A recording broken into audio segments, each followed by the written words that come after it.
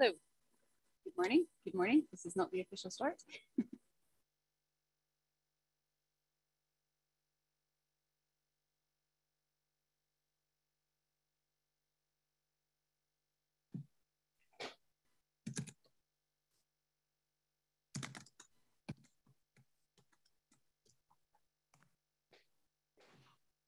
right. Well, good morning, everyone.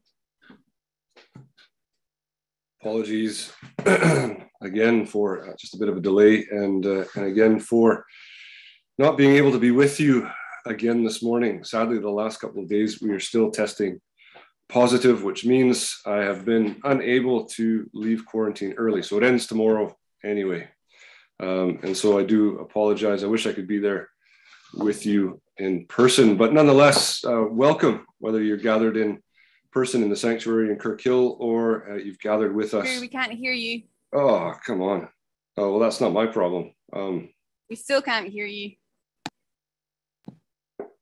I I'm on. That's it. There we go. Can you hear me now? Okay. Um. All right. Well, I'll, I'll start. I'll start from scratch. Uh, again, just a, a warm welcome to you, whether you are able to join us in the sanctuary in Kirkhill or whether you're joining us at home. I do apologize that I am unable again today to join you. So, um, in order to get out of quarantine early, I would have had to test negative on a couple of LFTs this morning and yesterday, and sadly, I haven't. So, my quarantine is due to end tomorrow anyway. Um, but I'm absolutely gutted not to be with you in person. So, thankfully, um, we have the technology available to be able to do what we are doing, uh, albeit uh, not ideal. Um, so thank you for your patience, and it's just good to be able to worship in creative and and electronic ways, I guess. And so uh, may the Lord bless us as we endeavor to, to make the best of our situation here this morning. So, just a couple of intimations to, to kick us off. Uh, because of all the changes that have taken place with regards to our own travel details, um, we're going to have to change the, the start date of the youth group. Um, and so it, it will now be the 26th of March rather than the 12th of March. So just note that in your diary and more details to come closer to the day. Uh, also, we, we still need some flower uh, rota names, a little help there. So I think, I believe there is uh, sheets in the back of both churches. Please do fill them in. Uh, your, your services are dearly required. Um, and so we are due to travel this week, and uh, we will have someone in the house watching the dogs for us. But uh, more importantly, we will uh, we will have Pastor Les Bradley to take the service next week, and so I'm, I'm, keen to just keen to see what Les you know brings from from what the Lord lays on his heart. Uh, one other thing I just want to bring to our attention, I know it might become part of uh, the service later on, but I just also want to bring to your attention uh, just a continued call for prayer for Catherine Kemp and, and Cameron and Mari. So um, yeah, we just I think need to push through in prayer to, to continue to see Catherine improve. And so uh, I just want to commit Catherine and the, and the Kemp family to you. And uh, and lastly, just a reminder for elders, a session meeting on the seventh, and details are in uh, email. So make sure you check there. Uh, and then I, I believe you've got teas and coffees after the service. So enjoy. Um, we'd like to begin with uh, our call to worship from Psalm 99. And, uh, and keep in mind, uh, given everything that's going on in the world just now, uh, these are the lectionary readings. I did not choose these specifically, but uh, great, grateful that God is sovereign. And so the first five verses of Psalm 99 to settle our hearts and our minds on things above and our worship of the Lord. The psalmist writes, The Lord reigns, let the nations tremble. He sits enthroned between the cherubim, let the earth shake. Great is the Lord in Zion. He is exalted over all the nations. Let them praise your great and awesome name. He is holy. The King is mighty. He loves justice. You have established equity. In Jacob, you have done what is right, what is just and right. Exalt the Lord our God and worship at his footstool, for he is holy. Amen. Well, let us sing the first of our songs of praise, and I'll turn it over to Lenora to do just that.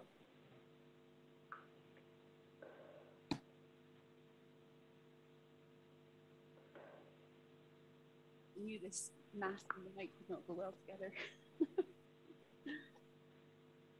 okay, we're going to, to stand and sing Holy, Holy, Holy truths about our, our unchanging God, who, despite worldwide situations, is the same yesterday, today, and forever. So let's stand to sing.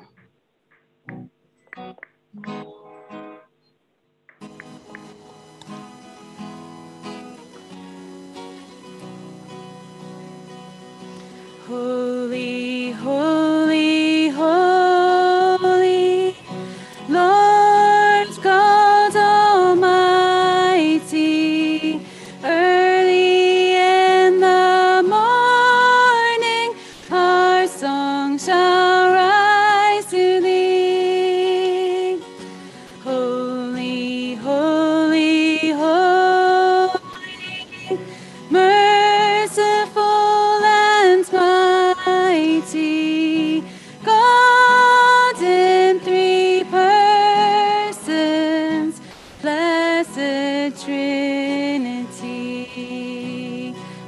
first verse again in case you don't know the words.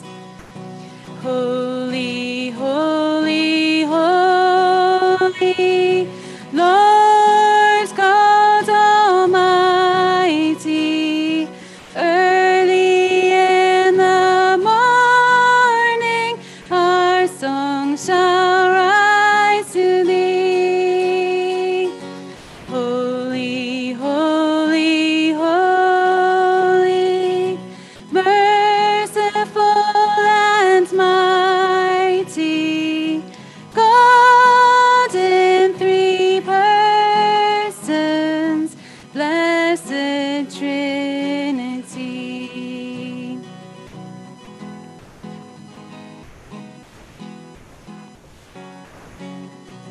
all the saints adore thee.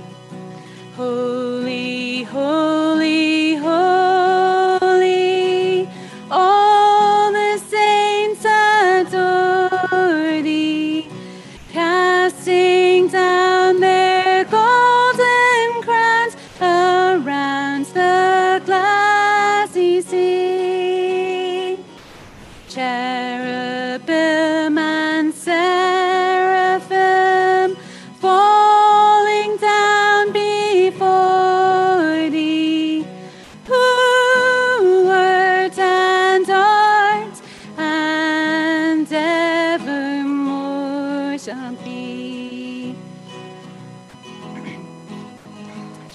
Darkness Height.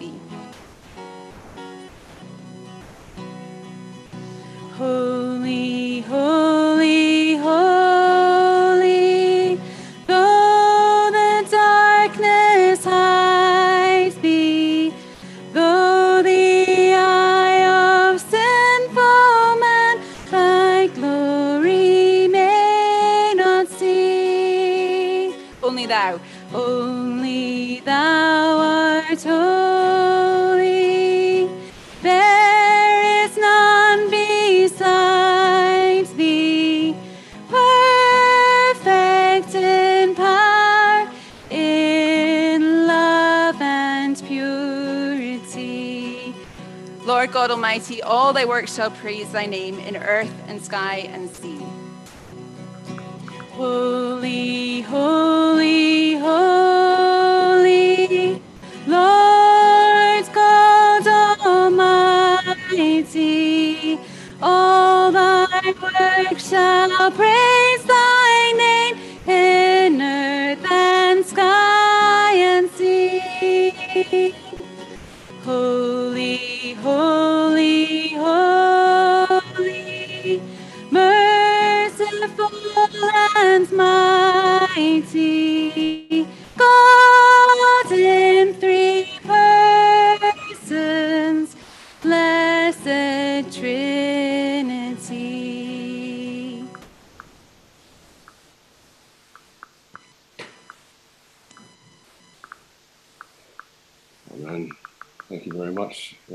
you haven't already taken a seat, please do so. Um, let us now just commit ourselves and our worship and our service to the Lord in prayer. Let us pray. Heavenly Father, we marvel at your glory and your goodness. Your holiness is, is beyond what we are able to, to fathom, to grasp. Your holiness, uh, if anything, highlights our unholiness. And we are acutely aware of all that is wrong within us.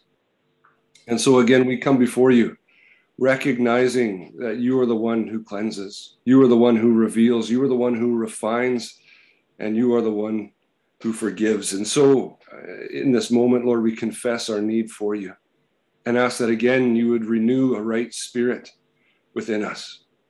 Cleanse us. We, we repent of our sins again today and ask that you would equip us, that you would affirm within us the call that you have placed to be your people. Grant us a grace to be able to worship you today, to boldly approach your throne, to receive from your word and to know intimate relationship with your Holy Spirit. Open our hearts and our minds to hear and to receive today. Lord, may we be a blessing to you and a blessing to our brothers and sisters, both in, in person and those located at home. In all things, Lord, may we be pleasing to you. May we reflect uh, rightly the love that you have placed within us. May we be mirrors as to your glory and your goodness for your honor, but also for the benefit of those who are yet to know you and need to know you. And so, Lord, we continue to pray for uh, our, our congregation and the communities in which we live, Lord. Your word promises a harvest. May we be ready for such a thing even today. But may we each ourselves take time to examine to look within us, Lord, to know what it is that you would like uh, to minister to today. We pray for those among us with needs, those who are struggling, those known to us who, who are just not feeling 100%. And we pray for your ministry, for your Holy Spirit to be poured out, that we might know your healing, that we might know your care and your compassion this morning and this day. And so, Lord, we commit ourselves to you, our service. We invite you, Holy Spirit, to have your way among us. And so, again, would you hear us as we pray the familiar prayer Our Father, who art in heaven, hallowed be thy name. Thy kingdom come, thy will be done on earth as it is in heaven.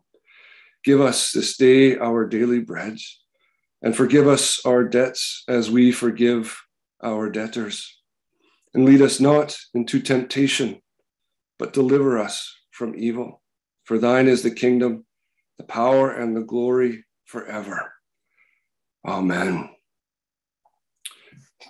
One thing we are aware of is that uh, God is the author of our salvation, and he is indeed mighty to save.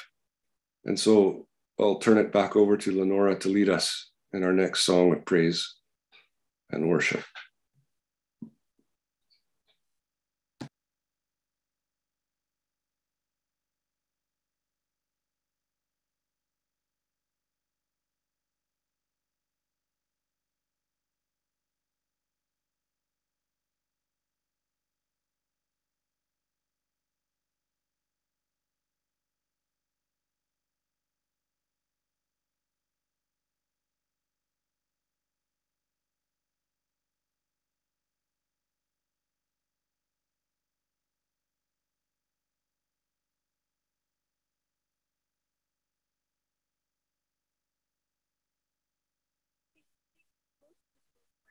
Song anyway. on Um, when I was practicing it yesterday, I was also thinking it's, it's, a, it's a song of praise and worship, but it's also a prayer. Um, my God is mighty to save. He is mighty to save. And we all know of situations, apart from the really obvious global situation, where we are needing to know that God is mighty to save. Um, so when we, we sing it, if you can't follow along with the words, then pray along in your heart and remember that God is mighty to save. I'll just read out the words to the first verse. Lots of us, I think, do know it. Everyone needs compassion, love that's never failing. Let mercy fall on me. Everyone needs forgiveness, the kindness of the Savior, the hope of nations. Savior, He can move the mountains. My God is mighty to save. He is mighty to save. Forever, author of salvation. He rose and conquered the grave. Jesus conquered the grave. So let's stand to sing. Um, and maybe the words will join us.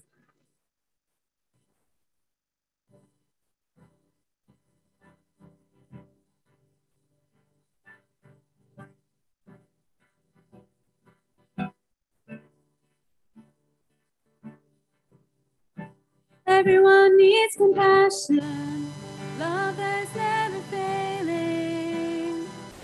Let mercy fall.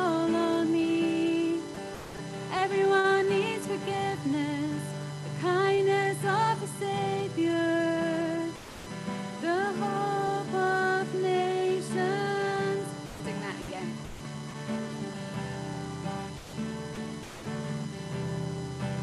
Everyone needs compassion, love that's never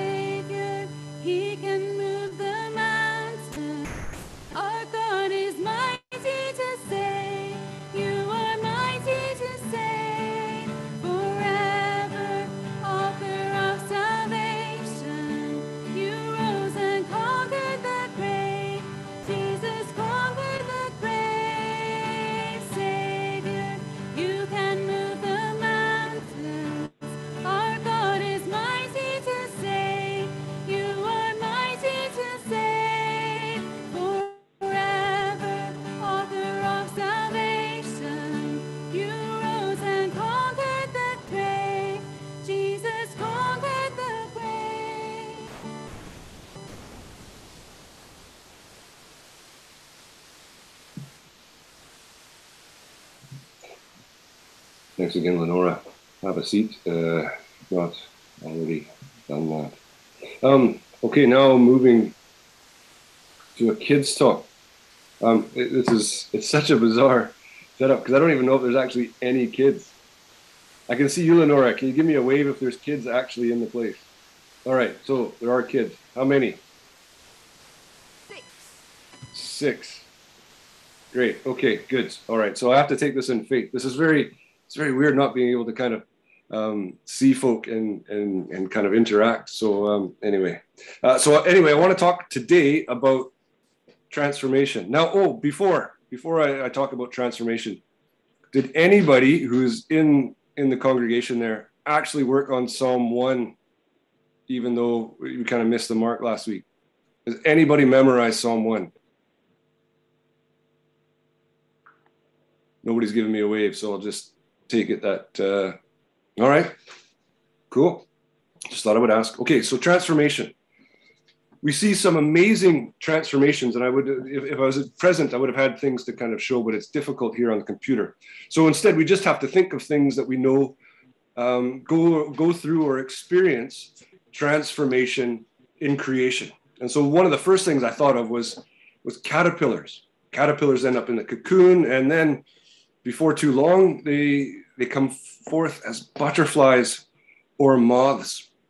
Something else that goes through an incredible transformation is, is coal, where through uh, the passage of time and pressure and heat becomes something as, as marvelous as a diamond. A grain of sand in, in the middle of an oyster transforms into a pearl.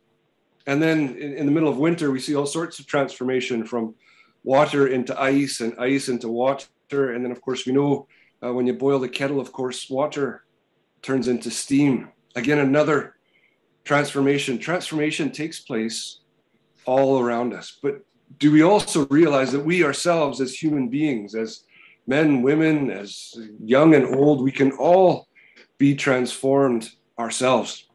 So there's a passage in Romans 12 2 that says, Do not conform any longer to the pattern of this world but be transformed by the renewing of your mind.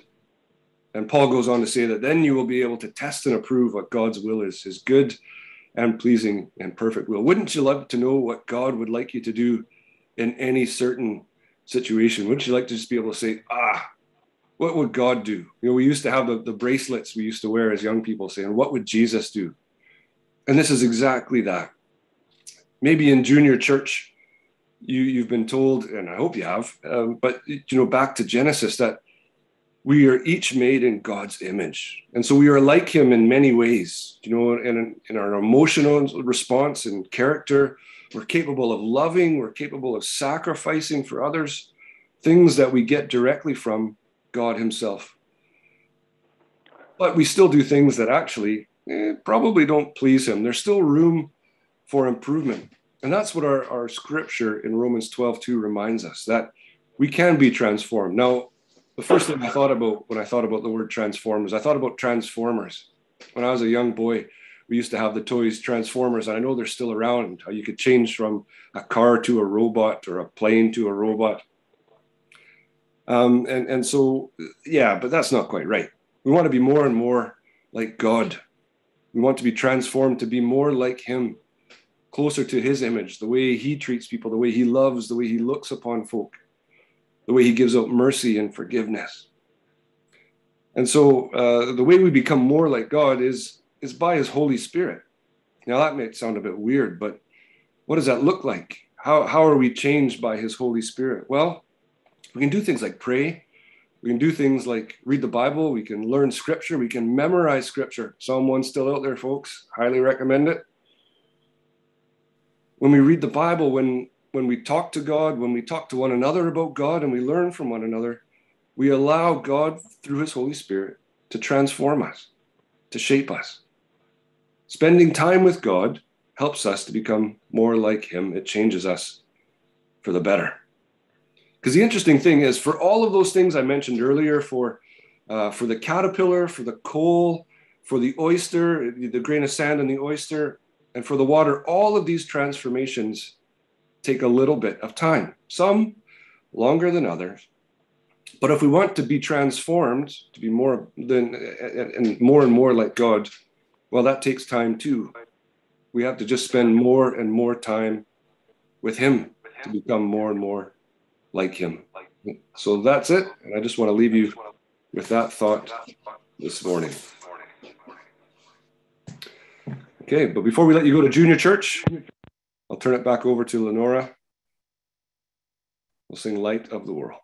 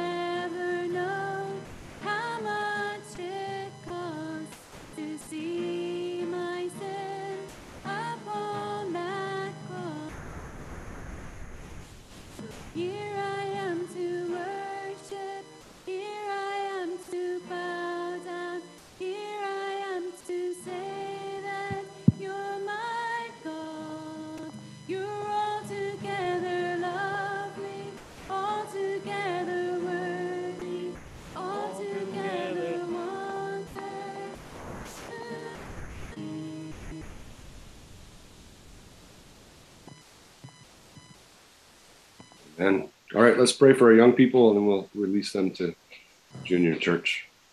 So, Heavenly Father, again, we thank you for uh, all the generations that you bring us into. Thank you for the family that is the church, your bride. And uh, we just want to ask your blessing upon our young people today as they go off to junior church. Would you bless them and those who will give them instruction? Help us as a community to, to love and to support them, to model well your word, your precepts, your love and character. May we be a discipling family for your honor and glory and for the benefit uh, of, of our family. In Jesus' name we pray. Amen. All right, now as the children leave, I would like to invite uh, Ian to bring us readings from God's Word this morning.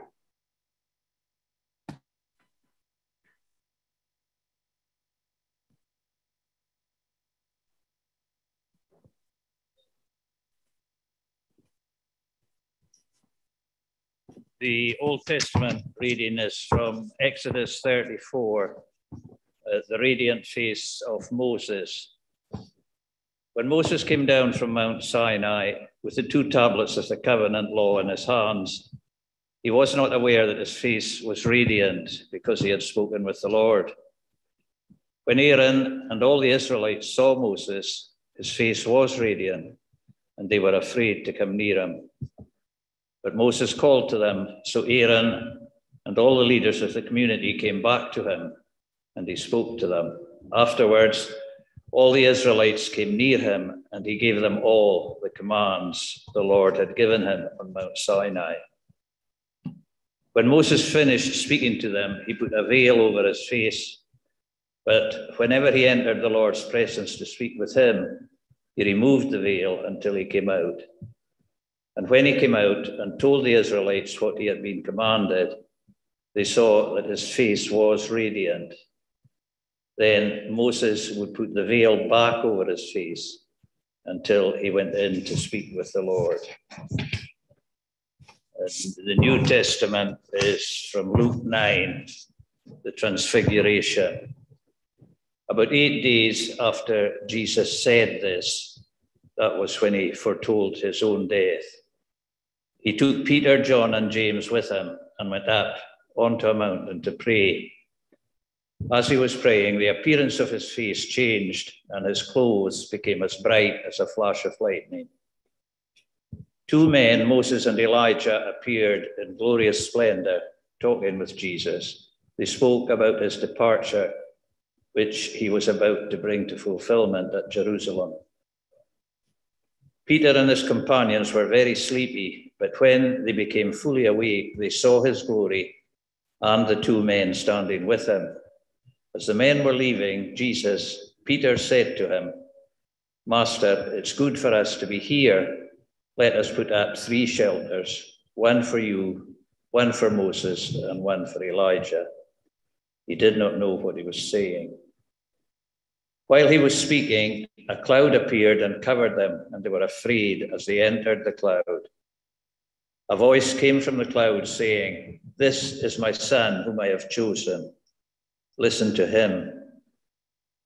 When the voice had spoken, they found that Jesus was alone. The disciples kept this to themselves and did not tell anyone at that time what they had seen. Amen.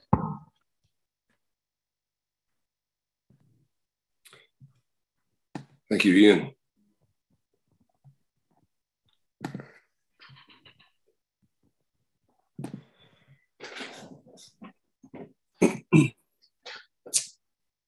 so, for a word from from the Lord to our congregation this morning, I, I have to start by just being completely honest. It's been it's been a week full of all sorts of emotion. I'm usually a pretty upbeat, uh, easygoing, positive sort of guy but if I'm honest, inwardly this week I've experienced a great deal of, of turmoil, uh, not to mention feeling rotten uh, due to COVID has probably only made things uh, a little bit worse. But I don't think we can carry on without at least mentioning first what is what is going on in in Ukraine.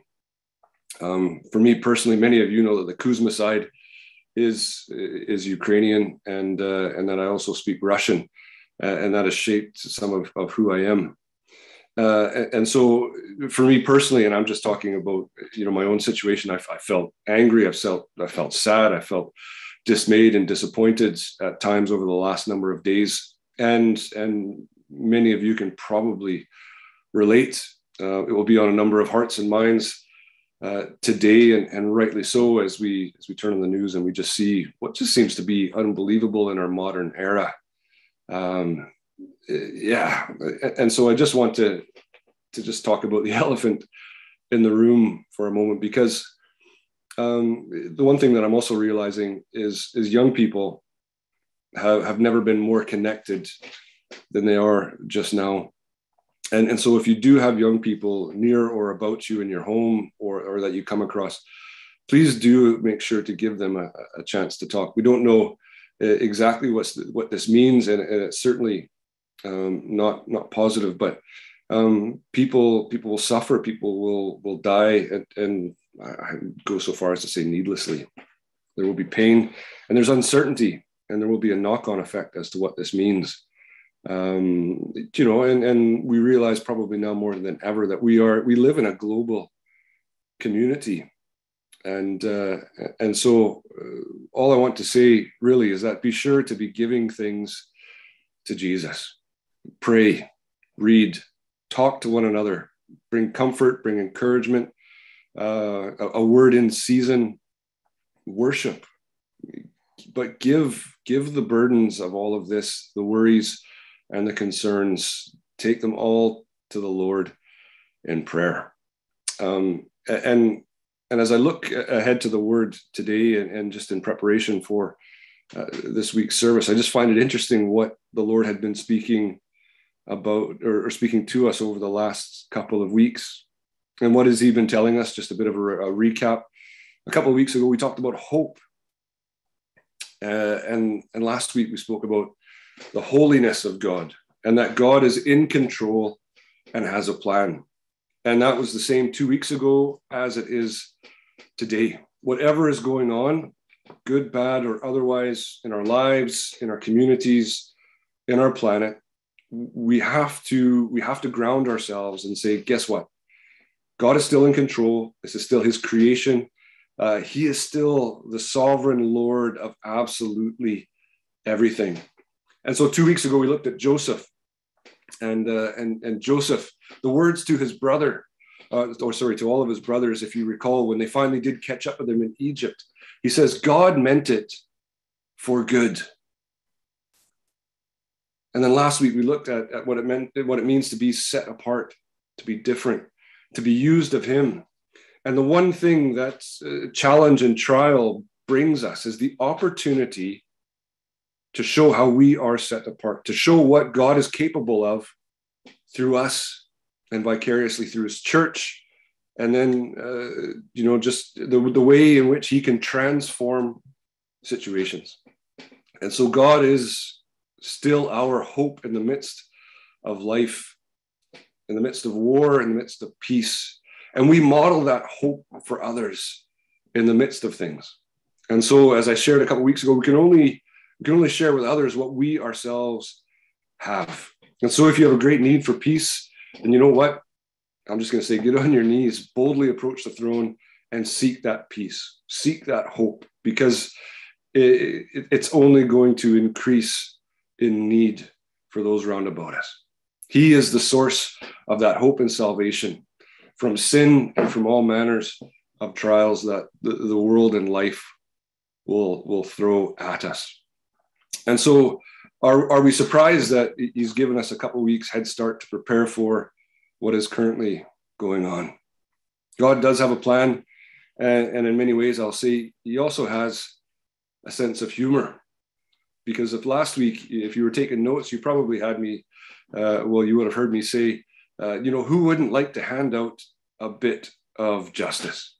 Who wouldn't like to teach someone a lesson. Well, I've got a name that comes to mind this morning. But I do humbly appreciate it when God makes me eat, meditate, and chew on my own words so that I, in turn, move towards and look at His. And so, uh, my encouragement will be and, and will continue to be for myself and for everyone else. Continue to seek his face and to pray. And then when you've done that, do it again and seek his face and pray some more. Pray into his plans. Because it's only in the midst and, and, and when God is in control and when things are in his hands that he turns the bottom of the well experiences like Joseph into a, a nation's salvation, where he turns a cross, a symbol of death and torture, into an eternal symbol of hope. So make no mistake, God is still very much at work this morning, all through creation. We might not understand it. His plan is in process, uh, and we are still called to be set apart and different for his honor and glory, living in his hope. And so, if what you see on the telly uh, breaks your heart um, and you wish you could fight, well, you can. And I would say, fight in prayer.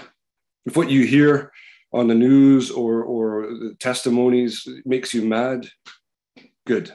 Then fight in prayer. These are the weapons that have been fashioned for us. These are the weapons that we are given to use. And so if someone is ill, guess what? We fight for them in prayer. And I mentioned earlier, and I mentioned again, just the situation of, of Catherine Kemp, who's still not doing very well. We need to see the pressure relieved on her brain. Uh, she's fighting infection. And so today, would you join us as we continue to battle in prayer for these situations like Ukraine, for those who are ill and in need of a touch, for those who are suffering, for those who are hurting. There are battles in other nations, and there are battles here in our own communities. But do talk to and remember God has a plan. And so, with that in mind, um, our passages today, uh, you know, Exodus 34, the glowing complexion of Moses. Moses has gone up a second time to Mount Sinai to get another set of stone tablets, having dealt with the fiasco that was the golden calf. And so, his second stint, 40 days and 40 nights, Moses and God meet on the mountain.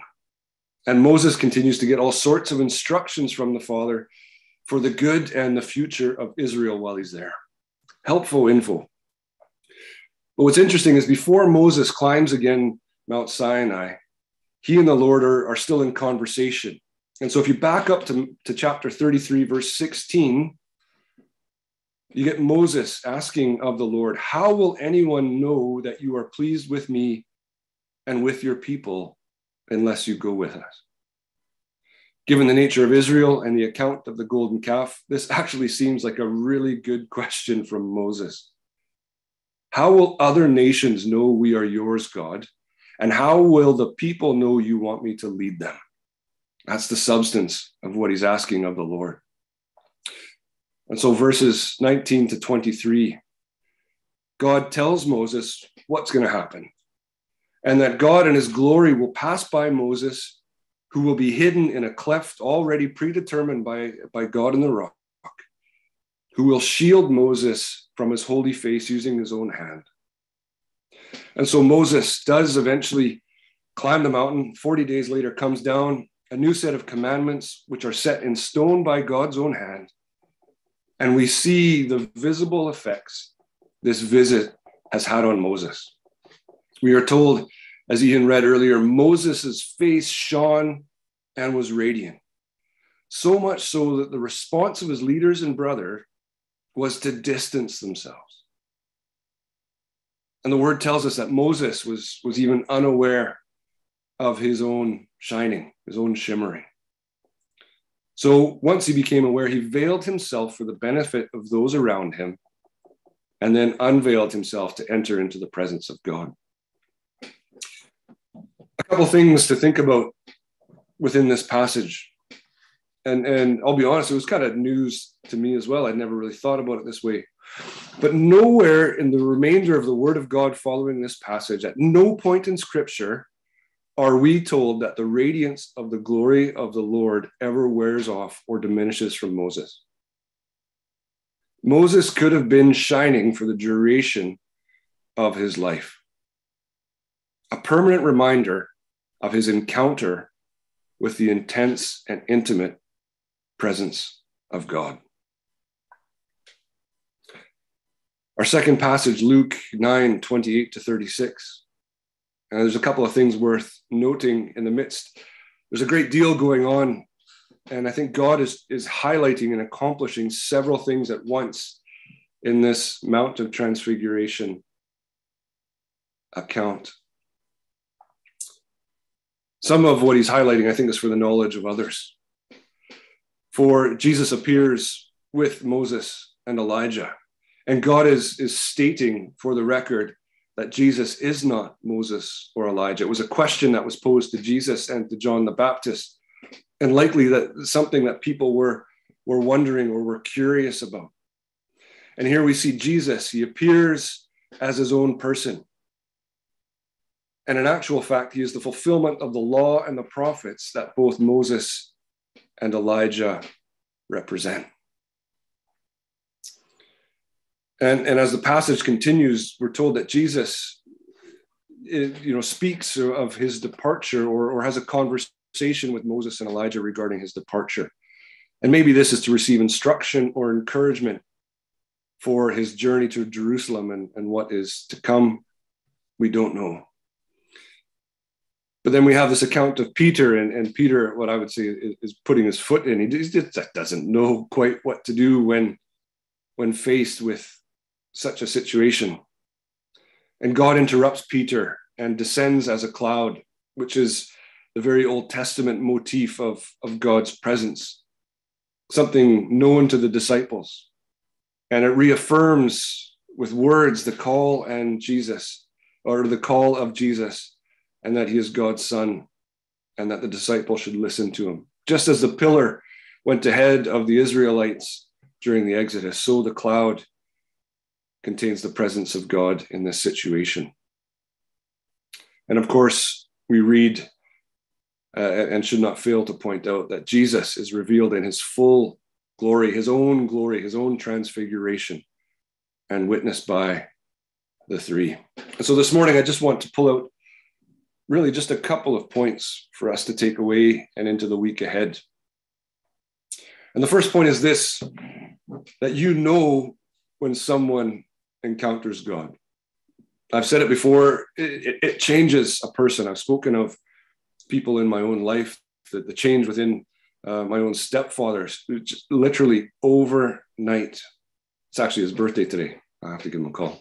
But what I find interesting like Moses, they might not even be aware that they have changed or been transformed, but it's clear to others.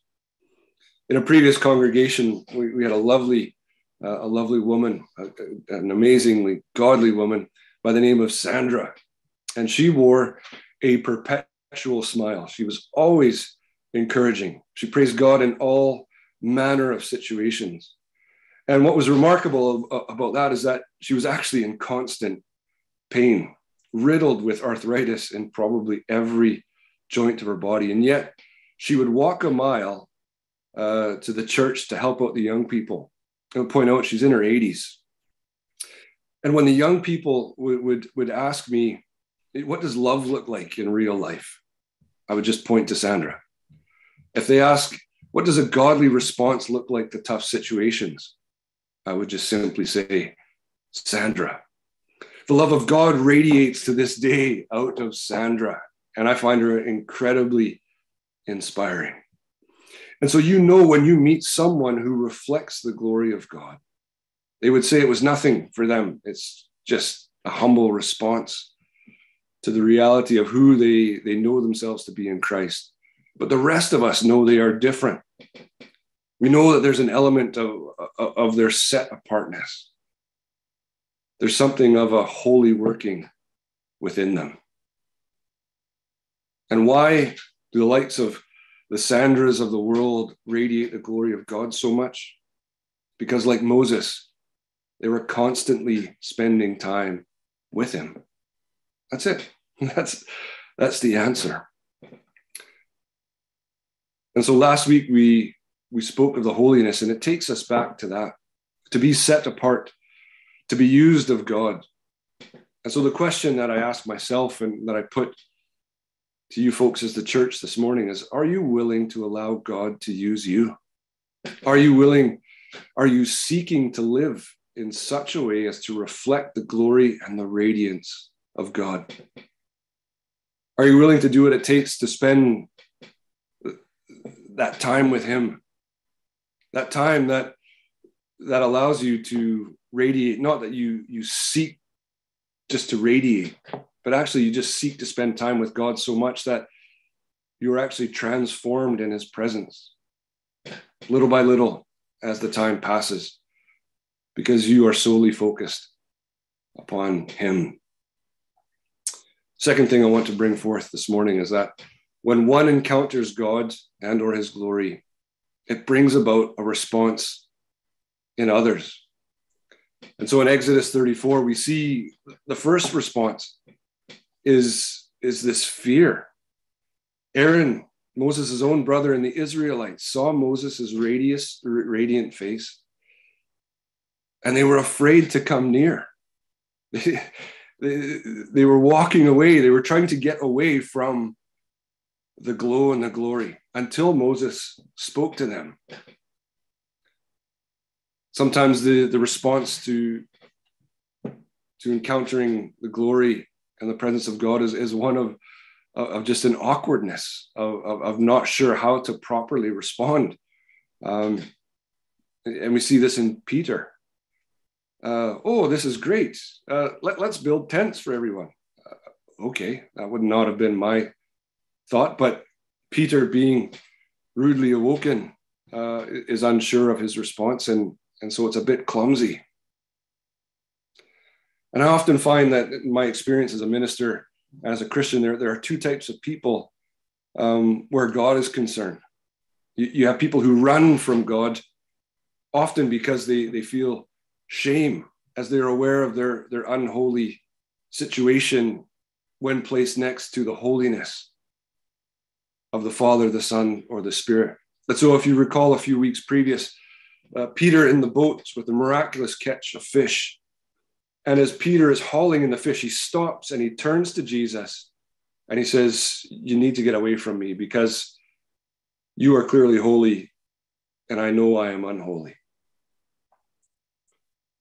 Peter just wanted to give that distance, just like Aaron and the Israelite leaders. And it's almost like we see this in, in, in the response of someone who is choking. And when we begin to choke, what, what do we often do? We, we seek to try and get alone, to, to isolate ourselves we, we know we probably don't look at our best, uh, but in doing so, we're isolating ourselves from those who are best able to help us. And I think it's something of a physical example of a spiritual truth as well.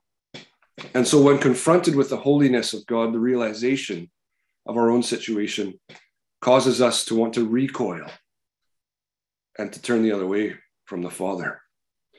But equally, I've seen in individuals, uh, there's a response that, that there are those who run to him because he is the one who can meet the need. And one classic example is, is the woman who had the issue of bleeding. And so, for whatever reason, people get to the point where they either recognize, either through experience, that, that actually Jesus is the one who can make a positive change in this situation or even out of desperation where uh, all other avenues have been exhausted. We approach Jesus. And the reality is, is he will meet that need. But for our passage in Exodus 34, what, what brings the leaders back to Moses? It's his voice. And with that voice comes a relationship, a trust that has been built. They never really seem to get over the glow, so Moses has to stifle the glory of God that remains upon him so that they can function well. But the sound of Moses' voice, those complexion changes, his voice doesn't. And so when we know and are familiar with the voice of the Father and the Son and the Spirit, we are able to remain when others would flee. My sheep know my voice. When we see things that don't make sense, we can trust where others might struggle. But the other thing uh, that happens, uh, another response that we have when we encounter the glory and the presence, is that we are awakened The presence, the glory wakens us up. And time and again, we see this in our, in our, well, it's representative of our Luke 9 passage. The disciples are forced awake at the awareness of the glory of Christ with Moses and Elijah. But think also of Saul, who's along the road and later becomes Paul, where he equally is awakened by an intense encounter with God. Peter, James, and John are a bit dozy after the hike up. But 32, verse 32 tells us. And it brings to mind the, the same sort of thing will, will happen in the days ahead in the Garden of Gethsemane. And William Barclay, in his commentary, brings some, some points that I think are, are worth noting again this morning. He believes we miss a great deal in life because we are asleep spiritually. And he adds to his, his writings things that he believes keep us asleep. And so it's just a wee bit of a list. So, briefly, the first thing he mentions is prejudice. That being close minded, no longer willing to debate or to entertain new thoughts. And I think we see this in what we now call cancel culture. It's a modern version of this. As long as you agree with me, that's fine, but I'm not open to actually looking at your ideas because I'm so right that you have to be wrong. The other thing he mentions is, is mental lethargy, a refusal to struggle strenuously in thought, a refusal to examine one's life. We choose to skirt around rather than tackle or wrestle with the, the doubts or the questions we have in life or even within faith. And the last thing he, he mentions is, is our, our love for ease and comfort as the final thing that really keeps us asleep as a church. Our default mechanism is, is to close the door on disturbing or challenging thoughts. He also points out that there are things in life that are designed to wake us up sorrow, tragedy, love, and our own needs. And how do these waken us up? Well, we become acutely aware of the presence of God and that He is the one who is able to meet those needs. And so the question that comes to mind for me as I was preparing for this, and maybe for you again this morning, is Am I currently asleep? What have I missed? What am I currently missing? What about the church? Is the church asleep? Have we fallen into one of these categories of Barclay's list? What is God seeking to affirm round about us? What do we need to wake up to? What examination does our lives or do our lives require? Lots of questions with answers that I don't readily have available yet. There's work to be done. And so, just quickly, a bit of an application. At a service not that long ago, I read from Ecclesiastes chapter 3. You know, the one, there's a song about it. There's a season for this and that.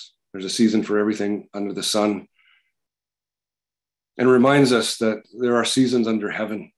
And some seasons are difficult. They're difficult to understand, they're difficult to fathom. But we must wrestle with them and not avoid them. We must ask God to reveal his glory in the midst of these situations and what our response should be. He is our hope. There's no point in running away from him, but instead we must ask him to awaken us to what he is doing. We need to look to encounter God in prayer through reading his word, through worship of him, a still small voice in the silence. As we read the news and as we observe in creation, we must look to encounter him. And then when we do see his glory, run as fast as we can towards it and embrace it. Embrace his hope that comes through it. Because who here isn't in need of some transfiguration? Who here isn't in need of some transformation? If we realize that, then the only correct response for us is to make the time to spend with the Father to allow Him to make that transformation come alive in us. We might not be able to go up a mountain for 40 days and 40 nights with Him, but you might be able to make four minutes, 40 minutes, four hours, four moments. The length doesn't matter.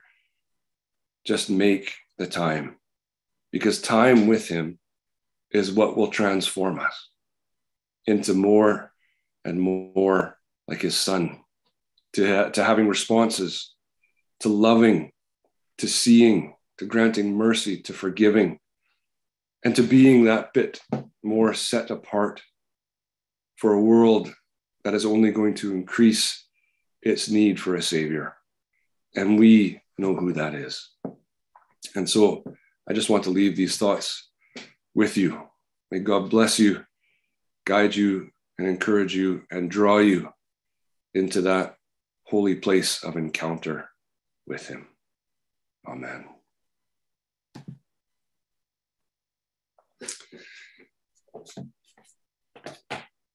I thought it would be appropriate this morning to sing as a response the familiar, the familiar hymn. My hope is built on nothing less than Jesus' blood and righteousness. Let's stand to sing.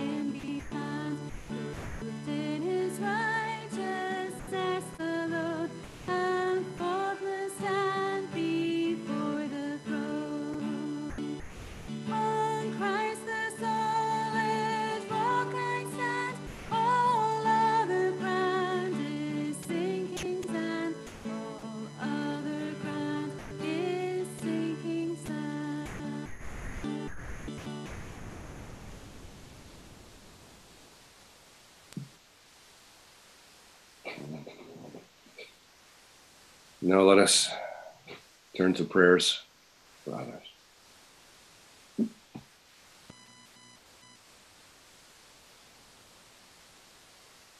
we're going to pray first of all for some things locally, and then we're going to use a prayer from 24 7, which is a, a, prayer for the crisis in Ukraine that um, we'll pray for some local I should say, when we get to the prayer for crisis in Ukraine, all the words are going to be there and we I'll, I'll lead and read, read and pray along either out loud or in your heart.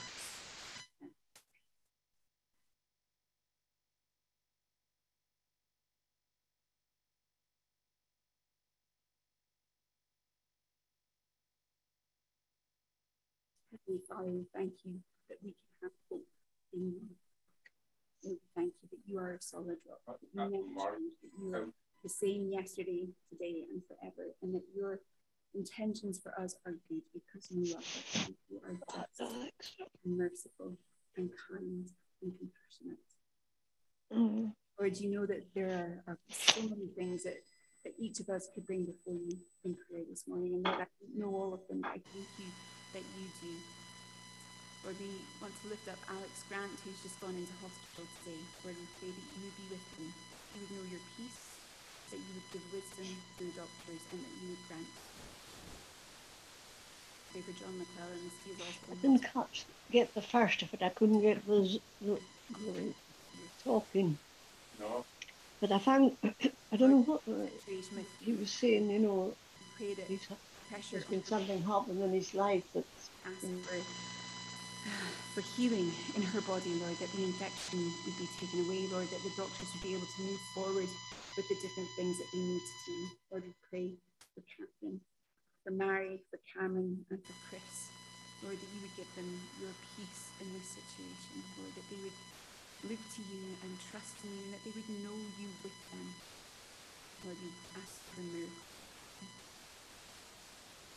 Lord, we pray for who's my family as they prepare to go to Canada. Lord, we ask that nothing else would stand in the way, that they would be able to get everything that they need get home and to visit Margie's.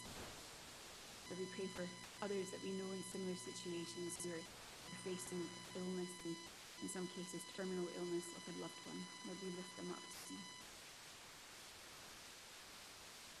Lord, there's so many other situations. So in this moment, Lord, we, we lift up the names of those we know who are in need of them.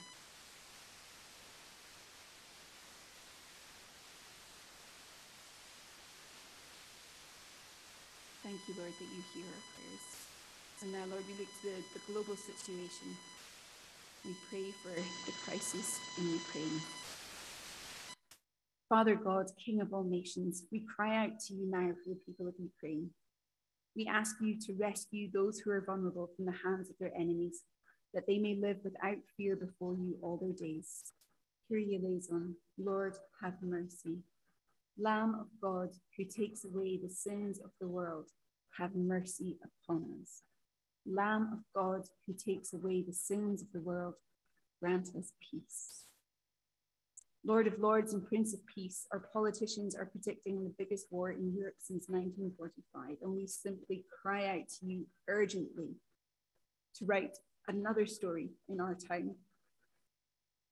Thwart the dark machinations of evil men. Give wisdom beyond human wisdom to peacemakers seeking an equitable and less violent way. We politicians exercise the wisdom from above, which is peaceable, gentle, willing to yield, and full of mercy. Kyrie eleison, Lord, have mercy. Lamb of God, who takes away the sins of the world, have mercy upon us. Lamb of God, who takes away the sins of the world, grant us peace. Holy Spirit, we pray for the church in Ukraine, a nation in which 70% of the population call themselves Christian. Give our many brothers and sisters in that nation courage in this crisis, that they may proclaim the good news of your kingdom, bind up broken hearts, and bring comfort to all who mourn. Kyrie eleison, Lord, have mercy. Lamb of God, who takes away the sins of the world, have mercy upon us. Lamb of God, who takes away the sins of the world, grant us peace. You, Lord, make wars to cease to the end of the earth. You break bows, shatter spears, and burn shields with fire. And so we ask you now to save the lives of many people in Ukraine. Make a peace that is strong and not weak de escalate the crisis. We hear of wars and rumors of wars, but you, Lord, are our rock, our fortress, and our deliverer. Our hope is in you. And so we address the nations now. In the name of Jesus, we say, Be still and know God. He is exalted among the nations. He shall be exalted in the earth. Kyrie eleison, Lord, have mercy. Lamb of God, who takes away the sins of the world, have mercy upon us. Lamb of God, who takes away the sins of the world, grant us peace.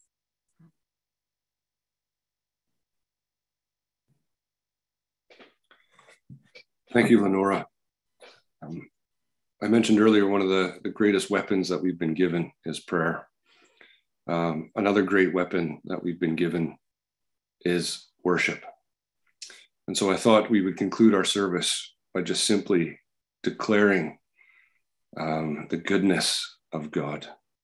And so as we sing our final song of praise and worship, let us do so honoring God for who he is, recognizing that he is worthy of all of our praise, regardless of what is going on round about us. And so let us sing to God be the glory, great things he has and will do.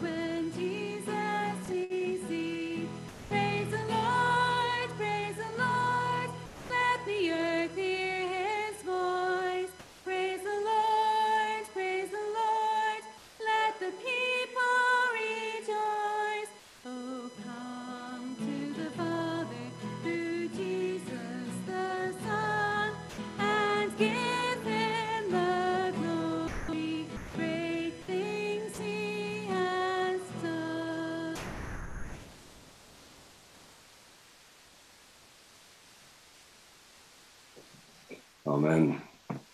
I've just had uh, I just had the junior church banging on my window and dancing in front of me as we were singing our last hymn. It's just absolutely made my morning. Um, but uh, for for our benediction, I just want to read um, from Numbers six, and it says, "The Lord said to Moses, Tell Aaron and his sons, this is how you are to bless the Israelites. Say to them."